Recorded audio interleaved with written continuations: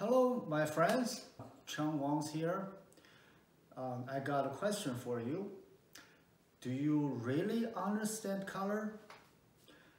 I actually asked this question to myself. Uh, I thought I know about it, but now I doubt it. Let me ask you, what is the primary color? You probably know. You might be know you have the answer, but since we have the computer and the internet here, let's Google it. Let's search primary color. Here we go. What is primary color? The answer is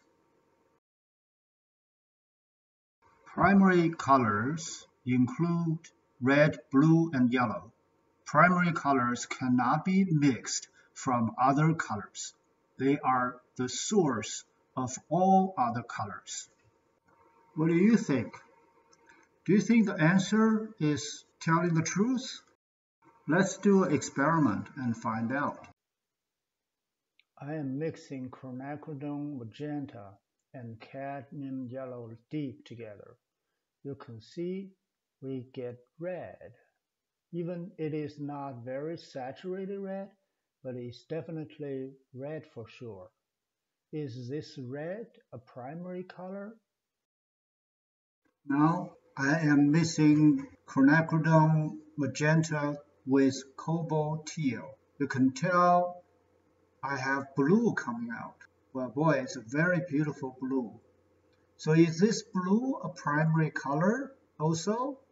Now we can see both red and blue can be mixed from other colors. So this doesn't match what we have learned. Okay, from that experiment we did, we have found our understanding about color may not be accurate. So what is next? So I did more research I understand actually it doesn't really matter. Uh, you know, just a one set of color can be any color, usually three, can mix a range of uh, different colors. We usually call these three colors a color gamut. But you can pick up any three colors you use, but it may not give you uh, uh, the largest range you can mix the color. Some uh, gamut makes a very small range, some gamut make, make it a little larger. Uh, yellow, red, uh, and blue is just one set of three colors. So not necessary primary color anymore. Uh, you can use that to mix, uh, use this gamut to mix a whole bunch of colors, but the range uh, of this gamut is rather limited. So uh, what is the largest, uh, the gamut we can mix color with? Uh, you know, so far we understand is uh, three colors. Uh, we usually use cyan, yellow, and magenta. So these three colors can mix the largest gamut we have. Um, so we, uh, we can call that a CYM system.